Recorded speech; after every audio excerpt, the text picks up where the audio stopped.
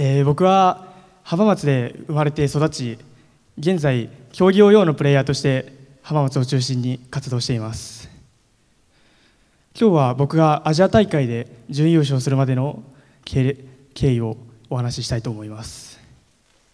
まず僕のヨーヨーとの出会いは小学5年生の春でした。公園で遊んでいた時にたまたま友達がヨーヨーを持ってきたんです。初めて見たヨーヨーはこんな感じ。え？どうなってんの？当時の僕にとってヨーヨーを始めるきっかけとしては十分でした。すぐにその場にいた全員でヨーヨーを始めました。最初はみんな技を練習したり誰が一番長く回るかを競ったりしてヨーヨーを楽しんでいたんですが1ヶ月ぐらいするとみんなヨーヨーに飽きてサッカーを始めてしまい当時運動が苦手だった僕だけがヨーヨーを続けていました。僕が初めて大会に出たのはヨーヨーを始めて 2, 2年目。浜松で大きなヨーヨーの大会が開催された時でした。大会の1週間前から毎日練習をして挑んだ人生で初めての大会。結果は57人中51位。とてもショックを受けました。でもその時自分の何がダメだったんだろうって考えることすらしませんでした。なぜなら自分のヨーヨーに可能性を感じていなかったからです。僕の技にはオリジナリティが備わっていませんでした。その後も大会では順位は少しずつ上がっていったのですがやる技は初めて大会に出た頃と全く変わっていない。何でも同じ技ばっかりやっていてつまんない。そう感じていました。そんな時に僕は5つあるヨーヨーの部門の中からオフストリングっていう部門に挑戦す挑戦することにしました。オフストリングは紐とヨーヨーが離れている部門です。わけが分かんないですよね。でもその状態から繰り出される技はダイナミックでどの部門よりもリスキー。僕はそんなとこに惹かれました。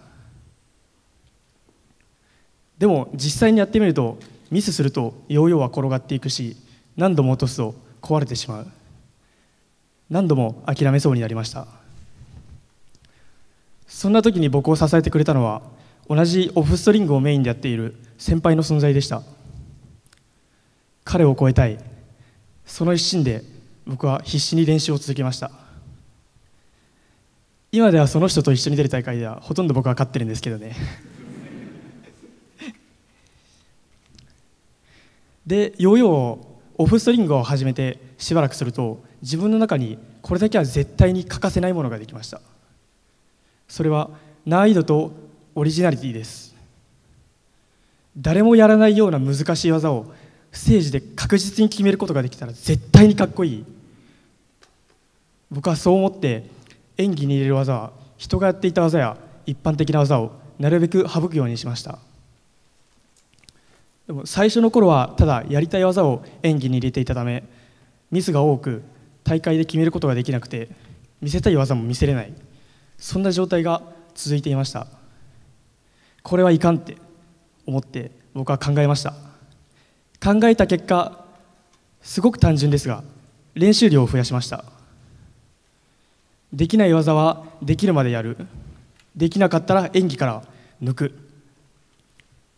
それと放課後3時間やっていた練習を大会の3週間前1ヶ月前1ヶ月半前と増やしていった結果去年までは全国大会で予選落ちしていた僕が今年は決勝で3位入賞。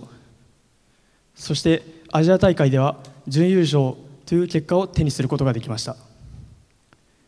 でもまだ最大の結果を手にしたわけではありません。これまでがむしゃらにやってきたことをさらにがむしゃらにやったらここまで来れたんだから。次は世界一っていう夢を叶えるために僕はさらにがむしゃらにもっとがむしゃらに頑張っていこうと思います。そしてこのヨーヨーと出会いヨーヨーによっていろいろ変わった7年間。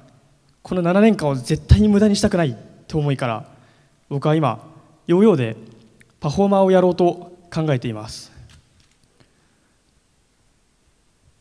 プロのパフォーマーへの第一歩だと思い今僕はここのこのテデックス浜松の舞台に立たせていただいています。そして僕はパフォーマーですから今からパフォーマンスをするわけですが今日使うヨーヨーを紹介したいと思います。今日使うのはこの一般的なヨーヨー多分皆さんから見たら一般的じゃない形をしているんですけどこれが一番今は一般的なヨーヨーなんです。これと僕が今現在大会で出場しているオフストリング。この2種類のヨーヨーを使った演技になります。